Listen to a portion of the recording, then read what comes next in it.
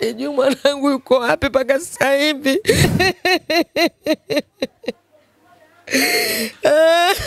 Eh, Mwenyezi Mungu tujalie sisi watoto wetu waonekane mia jamani. Ah, Rabi, leo ni tarehe siku ya kumi na tisa leo jamani, siku ya kumi na tisa watoto wetu hatujui wako wapi. Kwanza palichukua muda sana kuwapata wazazi wenzetu ambao watemeke, ambao watoto wao nao pia wamekamatwa. Natamani kuwaambia jamani, naombeni mtusaidie ili tuwapate watoto wetu. Hatujui wapi walipo, hatujui wanapata tabu gani. Mtazamaji wa Global TV, mimi naitwa Gabi Mtanzania. Leo nimetembelea tena Temeke Mikoroshini kwenye lile tukio la vijana wawili ambao inasemekana walikamatwa, Abdullah Dhaki mwenye umri wa miaka 18 na Ramadhani mwenye umri wa miaka ishirini, lakini leo pia wazazi hao wameungana na wazazi wengine ambao wanadai kwamba siku hiyo walikamatwa pia watoto wao kwa maana ya mtoto anayefahamika kwa jina la Charles mwenye umri wa miaka 18 na Hassani ambaye wazazi wake hawafahamiki wako wapi. Kana mimi uweze kujua sakata hili limekaaje.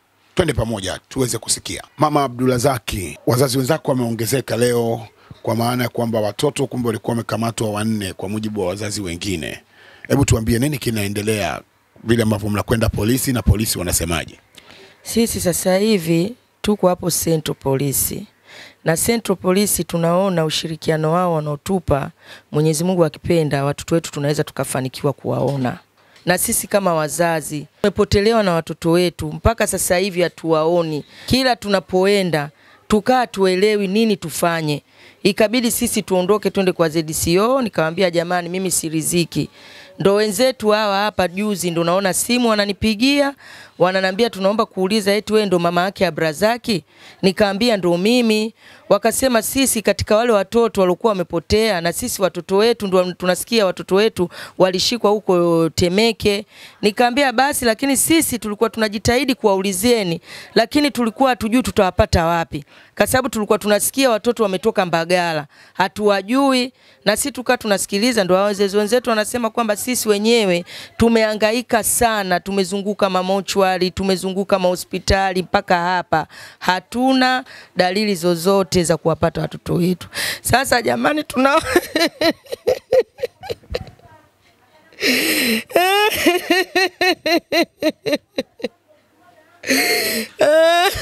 Eh, Mwenyezi Mungu tujalie sisi watoto wetu waonekane mia jamani.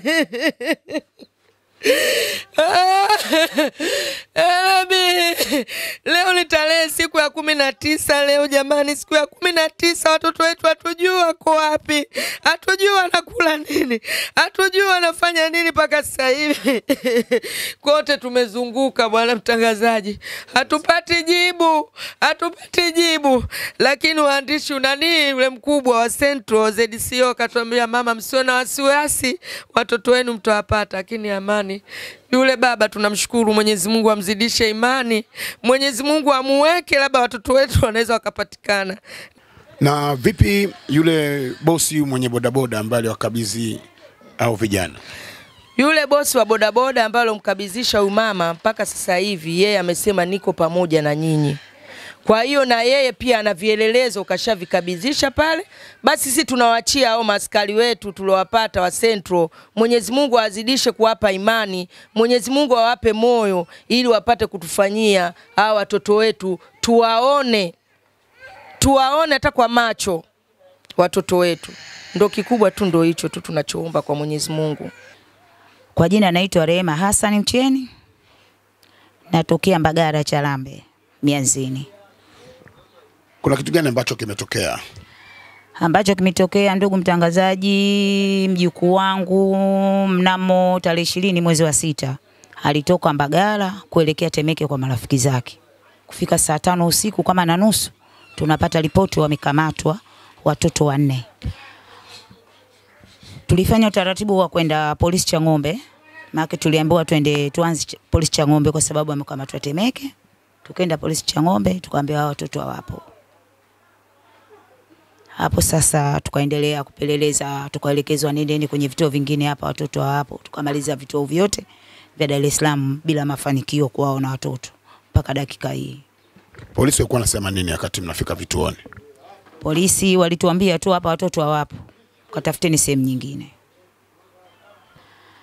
Taarifa, kuna kijana wao mmoja mwenzao, naona yeye itakuwa anawafahamu hao, kwa hiyo ndio alikuja kutoa ripoti, ambaye kwa mwanangu mwingine wa kiume alimkuta huko mtaani, akamwambia bwana Charles Kevin amekamatwa na wenzie watatu Temeke.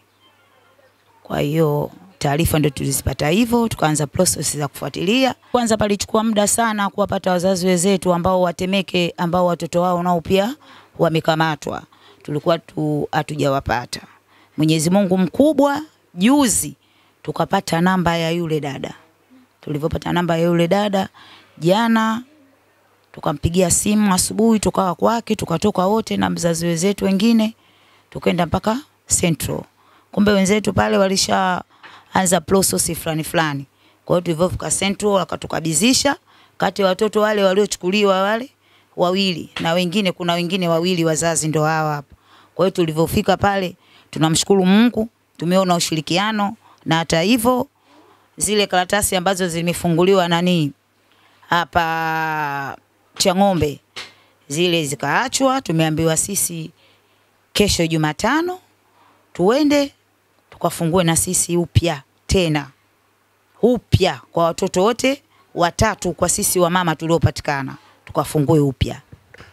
Wakati mnaendelea kupambana kuhakikisha kwamba haki inapatikana na jeshi la polisi linawasaidia kwa ukaribu kama mnavyosema, mmeenda Central kipindi hiki chote tuanzia tarehe ishirini ya mwezi wa sita mpaka leo, labda kuna dodoso zozote ambazo umezipata mtaani kwamba labda watoto wenu wameonekana sehemu fulani? Hapana, ndugu mtangazaji, mpaka leo, kwa sababu sisi siku za nyuma hapo kama wiki moja zilizopita tuliambiwa oh, Chale tumemwona mianzini, Chale kenda South Africa, Chale sijui kaonekana wapi. Lakini mimi kwa taarifa hizo kwa kweli hazikuniingia kwenye akili yangu, kwa sababu mtoto ambaye ametoka kwenda South Africa au yuko mitaa ya kwetu ile ile mianzini, wanasema yuko kwa chini, hasikose kuja nyumbani. Mimi hilo swala alikuniingia hilo swala nimelisikia, lakini bado naangaika kumtafuta mjukuu wangu mpaka dakika hii. Naitwa Fatuma Hamis Selemani. Nini kimetokea? Kuhusu tatizo la mwanangu kupotea, Ilikuwaje mpaka mwanao amepotea? sijajua kwa sababu mimi nilikuwa nyumbani, walikuja watoto wakatoa taarifa kusema kwamba mwanangu amekamatwa. Baada ya hapo nikafuatilia, nikaenda mpaka Chang'ombe, naulizia mtoto wangu kakamatwa, yuko hapa Charles Kevin, wakanijibu hayupo.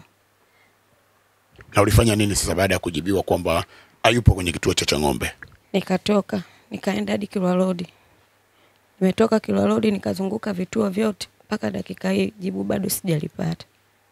Natamani kuwaambia jamani, naombeni mtusaidie ili tuwapate watoto wetu. Hatujui wapi walipo, hatujui wanapata tabu gani. Tunawaomba tusaidieni, hatuli hatulali kwa sababu ya watoto wetu. Tunaomba jamani, tusaidieni. Mimi naitwa Fatuma Mgeni Abubakari. Mwanangu aliokamatwa Ramadhani bin Sultani, Nini kinaendelea sasa hivi baada ya mwanao kukamatwa na leo ni siku ya kumi na tisa? mpaka sasa hivi mwenzangu waliokwenda nani, ikabidi nimepata ushirikiano, nimekwenda ngazi za juu. Nashukuru kidogo, ushirikiano kidogo nimeupata, na mwenyewe mwenye bodaboda amekuja, inaonekana imesoma ndani ya Kirwa GPRS. GPRS imesoma nyumba ya kwanza ikatolewa, nyumba ya pili ndio ilikokwenda zimikia. Na nishukuru mwenye pikipiki bado anatoa ushirikiano. Natamani wanionyeshe mwanangu japo ni- nimuone tu. Watoto wote wanne hawa hatujapata hata mtoto hata mmoja. Watoto wanne waliochukuliwa hapo hajapatikana mtoto hata mmoja tu. Hatujui watoto hao mpaka sasa hivi wako wapi. Mkuu wa chuo cha Kilimanjaro Institute of Technology and Management kilichopo Mwenge, Dar es Salaam na chenye thibati na usajili wa NACTVET number Regi mkwaju ane mkwaju 029 anapenda kuwatangazia ofa maalum wahitimu wote wa kidato cha 4 2023 kwa kozi mbalimbali mbali za kompyuta zikiwemo computer application, ICT for beginners, PC maintenance, video production, graphics and design pamoja na CCTV camera. Kozi hizi zitaanza tarehe 11 mwezi wa 12 2023 kwa awamu ya kwanza na tarehe 8 mwezi wa kwanza 2024 kwa awamu ya pili. Pia mhula mpya wa masomo kwa kozi za IT, Business, Hotel Management na Front Office utaanza tarehe 18 Januari 2024. Kwa maelezo zaidi tupigie 0717816034 na 0766348652. KITM, elimu na ujuzi ni msingi imara.